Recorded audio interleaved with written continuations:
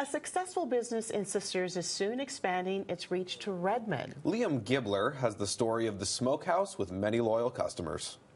It's called the Sisters Meat and Smokehouse. And by next month, they'll celebrate the opening of their next location. Our phone's ringing, wanting to know when the store's open, you know, and so um, we're just excited to meet the Redmond community and, and be a part of it.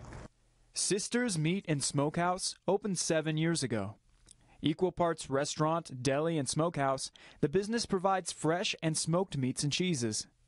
The community support's been fabulous. We love being a part of Sisters, and um, with COVID and everything, I felt like the community was. We even got closer because people did have to eat at home, and um, and then we weren't a sit-in restaurant, so people could still actually get our sandwiches, and um, we were able to provide them our service by bringing their food to their car and that sort of thing. The quality of the uh, of the product is superb only surpassed by the staff. The customer service is wonderful, the selection is wonderful. Everybody in the community really adores this place.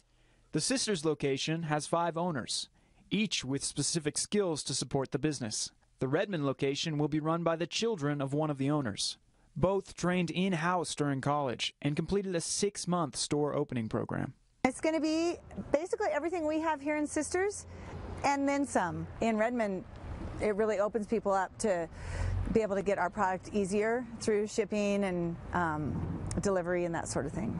The grand opening in Redmond will be Friday, April 7th, starting at 11 a.m. We just we want to welcome everybody, the Redmond community, and come down and, and see what we're all about. The Sisters location is also planning for expansion.